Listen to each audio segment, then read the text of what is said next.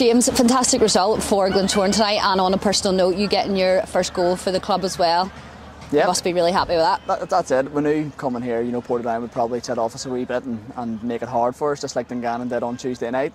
Uh, we had a really tough start to the season against Larne and, and uh, Crusaders, and we came away with four points. So we knew the next run of games after that would have to take maximum points, you know, to be up there. So just delighted to get the three points, and yeah, delighted to score as well. My first goal for Glentoran. Uh, so yeah, just delighted. But the, the main thing was getting the three points. Did you thank Jay for that nice pass for your goal? Yeah, we're having a, bit, having a wee laugh there. I was just saying to you there at half time, the boys were saying it's a, it's a great assist, it's a great pass, like. But no, it just fell to me kindly, and I, I seen the sort of the, the, the side of the net was open, and the keeper was the other side, so it was just a simple finish.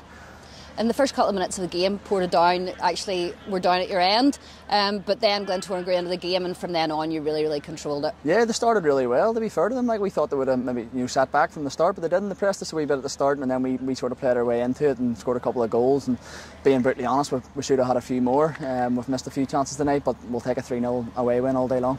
What was the difference, do you think, in the two teams tonight? Was it your midfield and forwards were just too fast?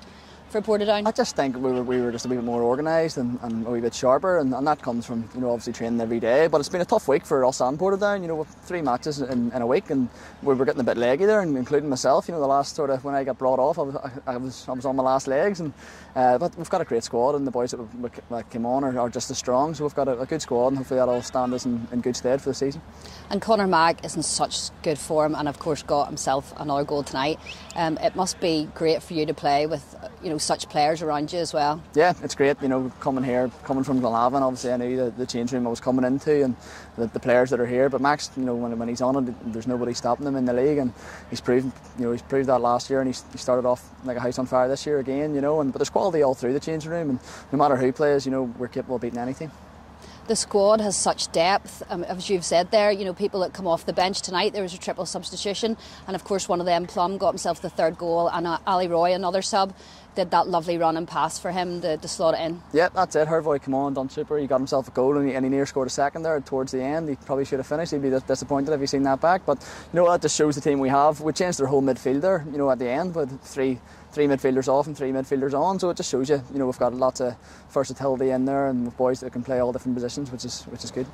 And James, your former club, of course, Glenavon, have done yourselves a favour tonight, of course, beating Coleraine. You must be delighted you're sitting top of the table now. Yeah, delighted, but we'll not look not look into it too much. Obviously, we're, we're four games into the season. There's a lot of football still to be played. So, Newry next week. Hopefully, the boys will get a good break here over the weekend, and we'll be back at it Monday morning. But great result for Glenavon. I still keep out, I keep an eye out for the results. You know, I have a lot of friends down there, and and I have a lot of respect for the manager. So yeah, I'm keep rooting for them as well.